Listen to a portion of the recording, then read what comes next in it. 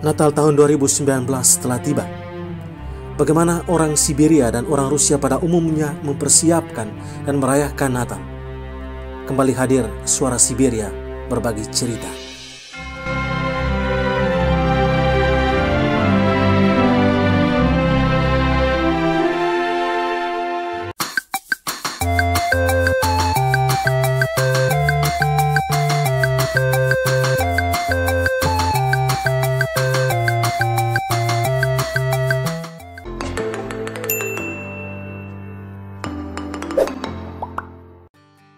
Agama mayoritas di Rusia adalah Ortodoks. Namun di samping gereja Ortodoks ada juga gereja Katolik, gereja Protestan, atau gereja-gereja lain yang merayakan Natal. Kalau kita perhatikan secara saksama di Rusia, perayaan Natal dirayakan dua kali. Agama Katolik dan beberapa uh, Protestan mereka merayakan Natal pada tanggal 25 Desember. Gereja Katolik dan Protestan mengikuti kalender Gregorius. Tetapi orang-orang Rusia yang memeluk agama Ortodoks, mereka merayakan Natal bukan pada tanggal 25 Desember. Orang-orang Rusia pemeluk Ortodoks merayakan Natal pada tanggal 7 Januari. Mengapa ada perbedaan? Hingga pada tahun 1918, Rusia dan dunia barat menggunakan sistem kalender yang sama. Pada tahun 1918, kaum Volhevik memutuskan untuk mengganti penggunaan kalender Julius dengan kalender Gregorius di seluruh dunia. Meski begitu, para pemuka agama tak setuju dan memutuskan untuk tetap berpegang pada sistem kalender lama. Karena itulah, maka gereja Ortodoks merayakan Natal itu pada tanggal 7 Januari.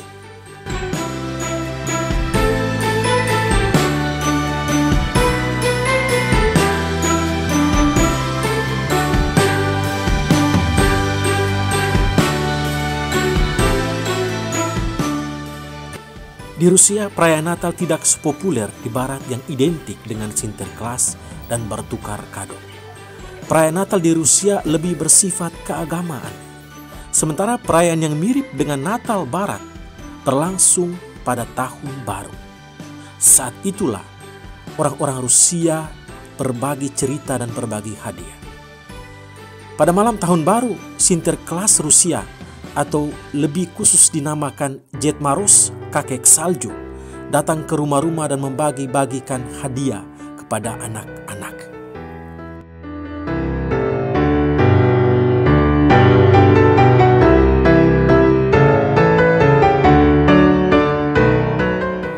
Tradisi yang begitu kuat untuk orang Rusia dalam menyambut pesta Natal dan Tahun Baru adalah meletakkan pohon Natal di setiap rumah. Pohon Natal yang diletakkan itu bukanlah pohon Natal yang mati yang dijual di toko-toko, tetapi pohon Natal yang hidup yang diambil dari hutan. Pohon Natal hidup ini melambangkan kehidupan yang terus bertumbuh, semangat baru bagi mereka. Karena itu, menjelang pesta Natal dan Tahun Baru, di sudut-sudut setiap kota di Rusia dijual pohon Natal yang hidup ini. Gitu banyak pohon Natal yang dijual.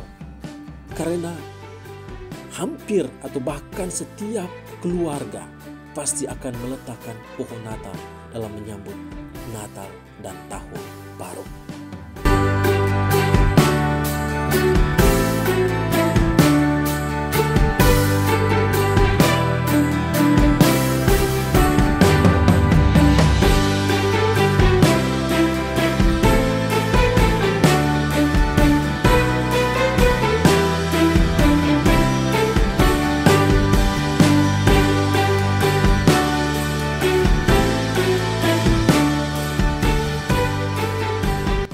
Kami di gereja juga sudah membeli beberapa pohon Natal. Bersama umat, para suster, kami memperindah pohon Natal itu sebagai gambaran jiwa kami, semangat kami yang siap merayakan Natal, di mana Yesus lahir dalam hati, dalam keluarga, dalam kebersamaan, dan dalam paroki kami.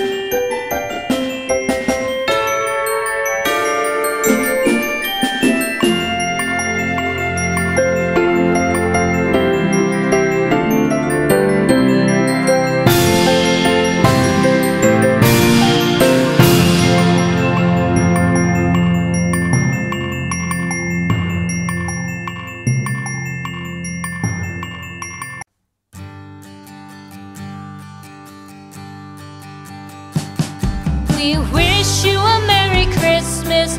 We wish you a Merry Christmas. We wish you a Merry Christmas and a Happy New Year. The tidings we bring to you and your kin. We wish you a Merry Christmas and a Happy